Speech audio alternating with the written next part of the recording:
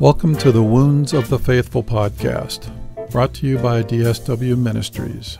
Your host is singer, songwriter, speaker, and domestic violence advocate Diana Winkler. She is passionate about helping survivors in the church heal from domestic violence and abuse and trauma. This podcast is not a substitute for professional counseling or qualified medical help. Now, here is Diana.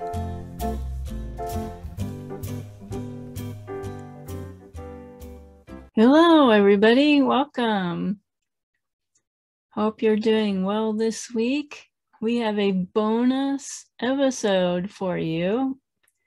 In addition to our regular Wednesday episodes, we have Juanita McDonald on the show today. She has an event coming up on April 9th that she wanted you to know about so you can get involved and participate and uh, I invited her to come on to the show to tell you about herself, her ministry, and this event that she's putting on. So let me tell you a little bit about her. Juanita McDonald is the executive director of Rediscover Me, which means mental elevation, women's initiative. She holds an honorary doctorate degree in humanitarian arts a master's degree in change leadership and minor in human behavior. Registered as a victim service provider for the state of South Carolina and certified as a Girl Circle facilitator through the Department of Social Services. Now, Juanita created Rediscover Me after going through a period of personal loss and reestablishment. During that time, she began to accomplish her own personal goals, and she quickly realized that the extent that women lose their identity by conforming to titles placed upon them by others or situations, which hinders her from fully developing. Therefore, her services center on domestic violence, trauma, and mental health advocacy for women. So that's some of which what we do here in my ministry. So we're going to hear about her, her story, and the event, which is called a Pantython. And it's not what you think. It's not anything scandalous. So please come on in, get a cup of your favorite beverage, sit a while and get to know Juanita and learn about this fundraiser that we're putting on. So here's my conversation with Juanita McDonald. All right, please welcome Juanita McDonald to the show. Thank you so much for coming today. Diana, thank you for having me. It's such a pleasure. Well, we're going to find out what a, a pantython is. I was really intrigued when April introduced me to you about this event. Uh, but before we get to that, we want to know a little bit more about you and what you do. So start off with, you know, where you're from and tell us about your family and maybe something that you do for fun. Okay. Diane, I live in Columbia, South Carolina. Um, here, I have an organization called Rediscover Me Women Initiative. Uh, it is a nonprofit organization. Uh, we work with um, individuals that are affected by abuse, trauma, and mental health uh, to engage, educate, and inspire change for which a woman or teen girl survivor of domestic violence and sexual assault can rediscover the me she strives to be. And um, we do it based on the three pillars of lost identity plus lost self-esteem equals lost purpose and direction and so in the midst of supporting those survivors um, we built a, a pretty you know interesting company um, I am the mother of five grown children, a grandmother of nine children, uh, and have a, a twin niece and nephew that are very rambunctious that I love a lot. And so, what do I do for fun? I love the outdoors. That's one of the things. Mm. The parts of the outdoors that I can where I can see my feet. Let's be let's be strategic on this. Uh, and so um I love to go out into nature. I generally start my day with a three mile walk to our lake and and back before uh, getting started uh, working with clients. Actually, my my morning walk with my exercise as well as uh, after working with clients. That's how I bring it back down, ground mm. myself, uh, get out into God's. I call it His majestic uh, creations. I love to go out and hear the sounds, and uh, it's something about that fresh air that revitalizes me. And so um, that's about it. I love nature as well. It just rained here in Arizona. It doesn't rain very often. We we dance in the streets and you know stop work and go out the windows and and look at the rain coming down or or go out and it smells different when it rains here. You smell the creosote bush. Yeah, I like to go outside too. I have a garden and I have a bird feeder. Yeah, during the pandemic, I took up bird watching. Is that crazy? Because we look just watch them from our our kitchen mm-hmm. window, mm-hmm. and they're mm-hmm. so funny. There's a gentleman on our on my trail. that's what he does. He comes out, starts his day bird watching. Yeah, so. go out there and, and tend to my garden, and I'm I'm the same way. I like to go out there and see things growing and and see all nature out there and Arizona's beautiful. Don't we don't do camping. The last time we went camping was a nightmare. It just wasn't very enjoyable. So we don't do the outdoor camping anymore. but, but, we like to take walks and stuff too. mm-hmm. Yes, I love my walks. Yeah. So we're going to get into a little bit about your your personal story you've experienced some personal trauma in your life that led you to start your ministry and your work. Could you share with us a little bit about that, whatever you're comfortable with? Sure. Um, you see, and I'm laughing because you said um, you got into your ministry. No, Diana, I was pushed Ooh. my ministry. Let's be real. Um, I my background is um, finance. Uh, I was a loan originator um, in the mortgage industry until the crash, and it forced me to go back, return back to school, and um, in the midst of it, uh, I just kept, as I began to discover things about myself, I truly kept hearing the word "rediscover me." Rediscover me.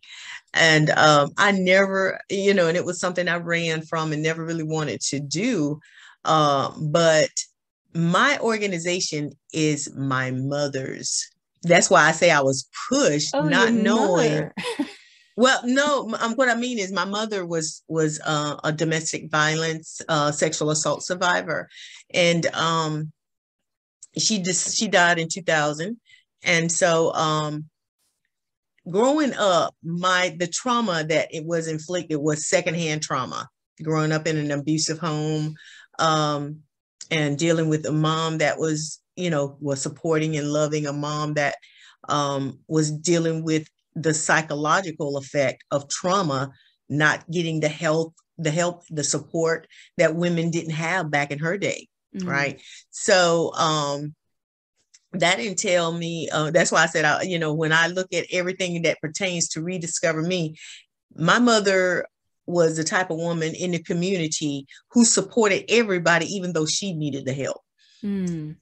and so um, as i began to hear rediscover me and uh, was it was and started dealing with it several classmates kept coming up to me as they heard my story as I wrote out assignments and I talked about um, different things, aspects of my life. And, and so women would come up to me and start asking me questions and would talk about difficulties. And, and I'm sitting up here just baffled that, you know, educated women were dealing with that much trauma and difficult.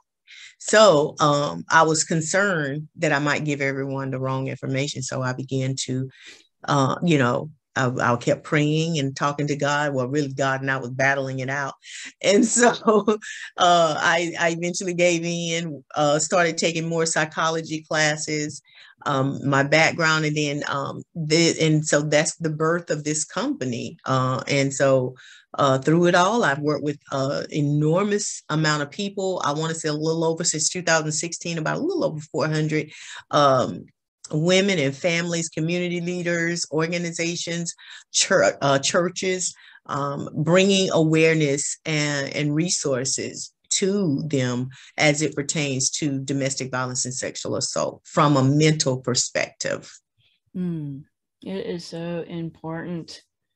It, it's so needed. And we are kind of kindred sisters here. We do some of the same things with abuse survivors I wanted to dive in a little bit into can you go into how you met the Lord Jesus in a personal way? That would go all the way back to my childhood. Um, I remember uh, I, grew up in the church, sung on the sun. Uh, I was on the Sunbeam Choir. Um, I was um, our church on my family land, uh, Spring Hill Missionary Baptist. And so, you know, I was a little choir girl. And so, and um, I remember the first time, you know, first of all, our church is on my family land. And I remember the first time my uncles created the, the little baptism pool. And I went and got baptized without my mother's permission. Wow. I forgot about that, but I got baptized without my mother's permission, and um, and it was you know, and the baptism pool was outside. It was in the. I just remember the sun, and um, and when um, I was baptized at that time, for some reason, remember the tent tent revivals? We don't oh, have yes. those anymore. Yeah, we don't have those anymore. I remember going to a tent revival before being baptized, and everybody was shouting, and and I was shouting, but I, I didn't know why I was shouting. they were shouting and I'm shouting, but I didn't know why I was shouting. But um, but eventually afterwards, I wound up getting baptized. And um, but I've always um I've always had a love for God and um believe. Um, even as I shared with you about the trauma my mother went through, no matter where she was in that, she would always set me and my siblings down and she would give us Bible study. Oh. And so that showed a form to me that showed a form of family unity and the degree of why we, you know, I also need to pour into my children. And so it it sort of built and um and has been my saving grace throughout all these years. So she was definitely a a godly woman and and and loved Jesus and raised her family that way. Mm-hmm. And she's probably looking down from heaven and proud of you and what you've done for the Lord and helping other people. Yes, uh, I I often ask when I'm thinking of her. You know, I was like, I, I hope you're proud of me, and I hope you're um, doing things in the manner that you would uh, uh, you know, and, and this being like an extended reach of what she tried to do the whole entire time of our childhood. Mm. Diana, I have to, to share with you, um, my mother wasn't, I'll say, what we project the imagery of that, you know, good Christian home. Uh, in our home, there was, my mother was an alcoholic. Oh. Mm-hmm. Mm-hmm.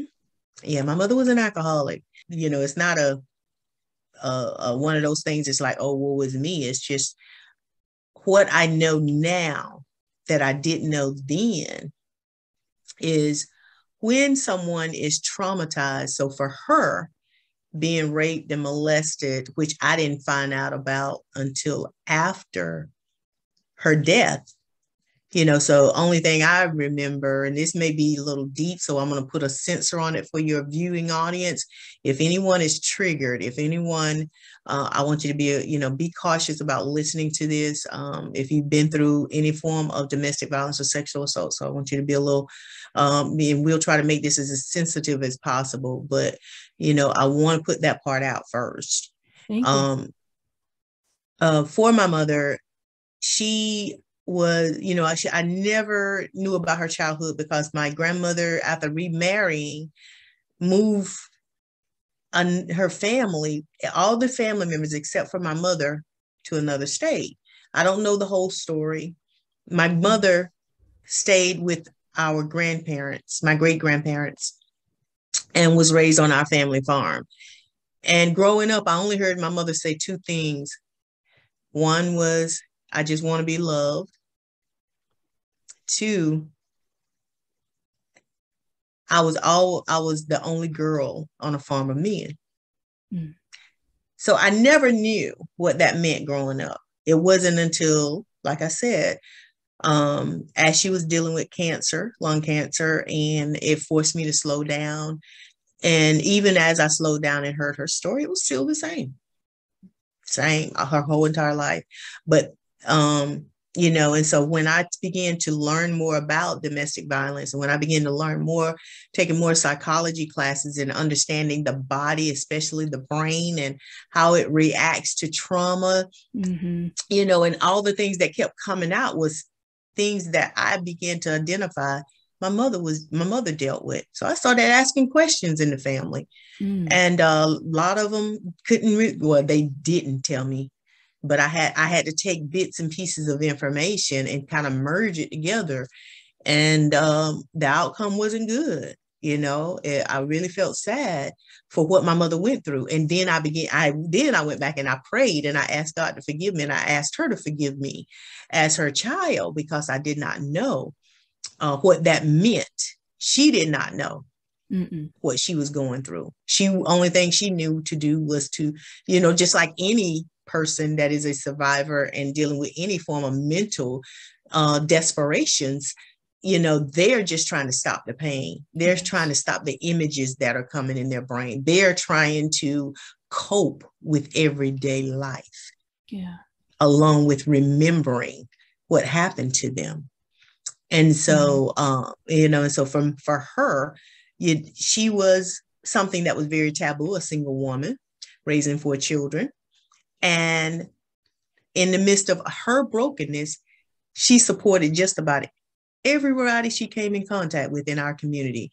No matter what they were dealing with, how they were dealing with it, she was there. She was like that social worker that we have now.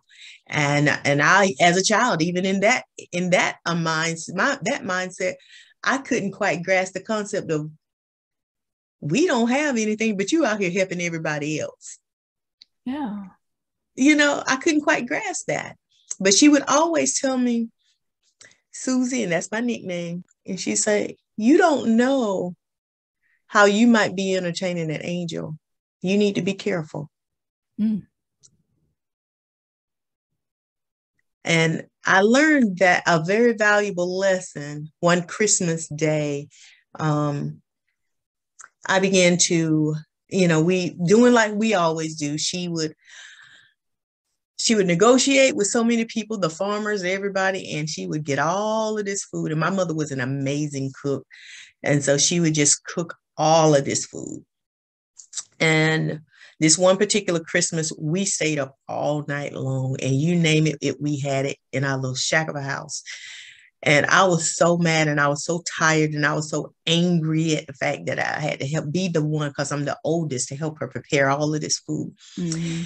And when I say my uh, my mother went off on me because she was just I was being that, you know, com- just complaining, complaining, complaining, and um, and she just kept talking to me, and so she got angry at me, and she just pulled me to the side. She said, made the statement that I just shared with you, and and she said, you you need to watch your mouth because you don't know what you're talking about.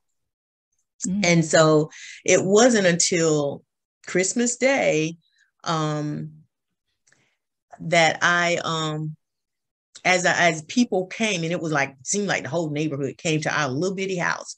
And they were just going out and they're taking food and they're doing this. And I'm mad. I'm like this here. And I'm like well they got husbands and they got this and they got that. And we struggling and my mouth was just going yeah. going going. And so and and uh but uh somewhere in the midst of all of that and me being uh it's in the corner pouting I happened to overhear someone thank her for doing what she do she was doing because they would not have had food for Christmas. And I felt like it felt like somebody had hit me in the guts. And I was like, oh. yeah. So um that's why I wanted to kind of give you that little enlightenment. She's um I think she's amazing. You know, I think my mother's amazing and she's a phenomenal woman. And I love sharing this story and I love sharing how all the things that she's done. And because of her, I am. And so those lessons, no matter how they had to come, has helped to build me as well as an amazing organization. She sounds like such a giving person and unselfish. She is. She is. And you know, people look down on somebody with, you know, alcoholism like they're lesser of a person, but you pointed out something very important. Some something that most people don't realize is you use alcohol to dull the pain. Mm-hmm. So you don't remember those horrible things. Mm-hmm. It doesn't make Absolutely. them a bad, a bad person. It's that's how they they deal with the pain. Mm-hmm. I used something different for my pain. You know, you can use work, you can use sex or drugs or all these different things, and it's for the same reason. I, mm-hmm. I, appreciate you sharing that story about your mom and and being vulnerable with us. My now, pleasure. In, in your ministry, do you have any stories or favorite folks that you've seen their lives change dramatically, or God's done something marvelous in in their life that you could share? All of them. Actually. All of them. All right. That's what we want to hear. I, I brag on the fact that um, Rediscover Me has like a 98% um, success rate. Uh, I even vet through all of the, the, the clients that we're going to take over uh, to make certain that they are prepared and ready to do the work because as you already know, it's hard uh, dealing and, and remembering um, if you know and so to and what that means and teaching them how to go about things so um but I've had some very difficult cases, but the most interesting case was the one that warranted me being in the doctoral program um, for Christian psychology. Um, I did not know that um, Archbishop was putting me up under the microscope with a case study. And so um, this particular case study uh, was sent to me to work with. And um, the big, the first thing that we look to do is to dive deep into trying to uh, understand the um, the root cause of what is dealing with what it, what is the root cause of the surface level issue. And so, uh, after working with her for about close to a month, it finally, and me trying to map her out, it finally mapped out to the fact that her form of lost identity centered on uh, her birth certificate being changed by her mother mm. in order to get her in and in a school that was designed for overachievers. So basically, the her mind had to develop and grow quickly in order. So basically, her mind, mentally, she was older than what she physically was. And so uh, that entailed her to having, uh, she couldn't quite fit. She didn't have a, she didn't fit inside of anything or, or with anything and anyone and she and, and so there was this mental blockage that that was creating massive issues so uh, she had a lot of other area area that we had to deal with. But once we got to the root cause of it and looking at that identity factor, um, then we were able to work backwards mm-hmm. and address all the other things that she was facing. So uh, it was a very tough time. Uh, it, it required a lot of praying. yes. and it had me on pins and needles um, for a long time. But um, at the end, I did not know January 11th is, um, you know, I was invited January 11th, uh, 2019 uh, is when I was um, presented with it, and she was my case study, and I did not know it. wow, I love that story. That's great. Isn't it just amazing when God just gives you these little surprises and mm-hmm. Mm-hmm. absolutely sure does. Yeah. Amen. I appreciate you sharing that with us. So let's get down to the business here. What in the world is a panty-a-thon? Oh wow. it's not what we think, right? Yes, no, no, no, no. Uh, it is a SAS panty-thon, and we it's a play on words. It's a play on words, but uh, the realness of it is a, a fundraiser for sexual assault survivors. So SAS stands for Sexual Assault Survivors. Um, this is our second year um, put uh, establishing this. Uh, it came about due to me hearing about a survivor after being raped having to uh, go to the hospital have a rape kit done mm. and um, in the midst of that at the end of the rape kit being completed um, they had to take everything you know everything from her and uh, the only item they were able to give her to walk out of the hospital was a pair of scrubs and underwear that were two sizes too big so as she walked out of the hospital, she felt re victimized. And oh. so, yeah. And so as I, and so what, you know, I did my research and that's when I started doing my research, I, that's when I discovered that um, the degree of hospitals needing these resources and um, organizations here in South Carolina that provides these resources, you know, they, their supplies run out real fast. Mm-hmm. And so we would not have ever thought about panties, you know.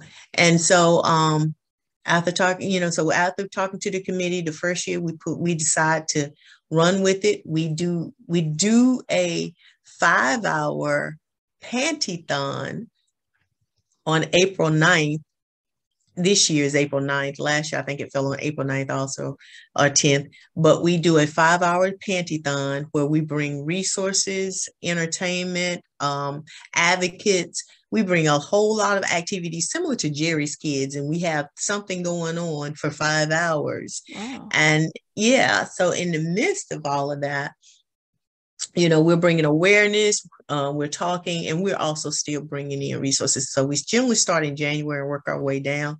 And so I chose that because I needed something that wouldn't require me to do a whole lot of work unless you're behind like I am to now. and so, you know, but uh, that wouldn't require me to do a whole lot of work, but would bring great value.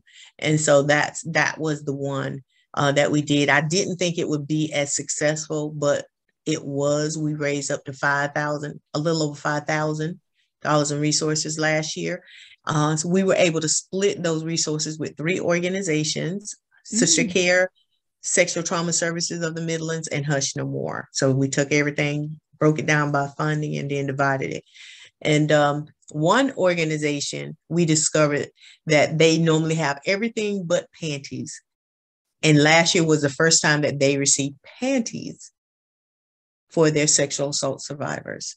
And we were the ones that were able to do it. And so we're thankful for those that are able to provide those resources to us. Um, those resources really run very, very thin. So, um, in the things that we collect, we are asking everyone to please donate, uh, even if you're not here in South Carolina, because we're working with individuals that are nationwide. Um, it can they can send funds those funds will be divided. We are a nonprofit 501c3, so anything that is given is a tax write-off. And so um, we can it it can be sent through uh, our cash out, which is hashtag rediscover me. Mm-hmm. Hashtag rediscover me, or it can be sent through our a check or money order can be sent through um, the our mailing address, and that will be rediscover me um, if they will be endorsed to Rediscover Me Women Initiative or Rediscover Me. And um, the address of it is 7001 St. Andrews Road, PMB Paul Mary Bob, PMB 413, Columbia, South Carolina 29212. Um, those items can be mailed, or if you just have it and you want to buy the items and ship it or do an Amazon drop, that's fine too. Um, you know, whatever the, the thing is, how do we, you know, our what I'm challenging everyone is to show up. And our theme for this year is she showed up. Yes. Show up for survivors. She showed up. And it's not gender related because he can show up too. Yes. And so he can show up too and, and support sexual assault survivors. Yeah, I do have your flyer. I'm I'm definitely gonna put it in the video and on social media and the in the show notes is going to have all the information. I mean this is something simple that everybody can do. I mean how much is a packet of panties if you go to walmart? Is you can probably get you know i get a package of 10 for mm-hmm. what 10 bucks. Yeah. You know walmart. Mm-hmm absolutely Absolutely. You know, send sending a ten dollar gift card that goes a long way, and you think it does something so small like clean panties that fit. I mean, we all went through the lockdowns and the toilet paper thing. You didn't realize how much you really need toilet paper until you yes. can't go to the store and buy any. Uh, yes, absolutely. We don't we things we take for granted, right? Is there anything else that you wanted to talk about uh, that we didn't go over that about yourself or your ministry or the event that that we didn't talk about? I want to encourage individuals that are in uh, abusive situations because we work with domestic violence and sexual assault. If you are dealing with anything that may cause be causing some type of harm, some form of harm come to you, or you're in a bad situation, I want to challenge you to reach out for help. Um, you can either, if you feel comfortable with talking with me, I would be that support person to help you to get the help that you need. Um, if not, you can definitely call um, the domestic violence hotline and contact them. They're also 277 277 is that's a text line that you can also apply. So there mm. are amazing resources that are available uh, to help you walk out this. But the biggest thing is um, be brave enough to get the support that you need. Tell somebody. Mm-hmm. Tell somebody. And you mentioned the the rape kit, and that's I've never been through that personally, but it's terrifying mm-hmm. to be all mm-hmm. alone and poked and prodded by doctors and emergency personnel and to have somebody to talk to and say it's it's it's going to be okay we're going to get you yes. cleaned up get you some proper counseling and support get you somebody that understands and help you to heal mm-hmm. You know, that's what Jesus would do. Absolutely. Amen. Amen. And I'm going to have all of the information in the show notes. Anything else you'd like to say before we we sign well, off? Just Diana, thank you so much for DSW Ministry and having uh, Rediscovering Me Women Initiative a part of your program. We truly honor you and thank you for this opportunity. And I thank you so much for coming on to the show. And you, know, you are a blessing. Well, thank you so much. Uh, it's an honor. You as well, beautiful, and have an amazing evening. Okay, this this was an exciting bonus episode. Isn't she awesome? I'm going to share the flyer with those that are on YouTube. So I'll be putting this on social media. The event is April 9th that's 2022. It's from 10 a.m. to 3 p.m., and that's Eastern Standard Time. It is virtual, and she showed up and it has the address where to mail the checks and the money order to. And it tells you what they need. Looks like in addition to panties, you can send money for cleaning supplies, personal hygiene items, donation gift cards. Cash app is that you can use to send money is dollar sign rediscover me. So you can see that on there. So participate, get in there and be involved. If you're listening to this and it's past the event, be sure to contact Juanita and see how you can support her ministry if you need resources or help. She said that she's available to help anybody that has sexual trauma, sexual assault. So I will be listening to the event on April 9th myself. I will most likely be working, but I'm going to be listening to the event as it's going on virtually. So I hope that you are there as well and listening to the entertainment and the speakers that are there and all the other goings on help her to raise the funds. Thanks for tuning in and listening to this. And we will see you next time on Wednesday during our normal podcast episode. We will see you then. Have a great week. Thank you for listening to the Wounds of the Faithful podcast. If this episode has been helpful to you, please hit the subscribe button and tell a friend. You can connect with us at dswministries.org, where you'll find our blog along with our Facebook, Twitter, and our YouTube channel links. Hope to see you next week.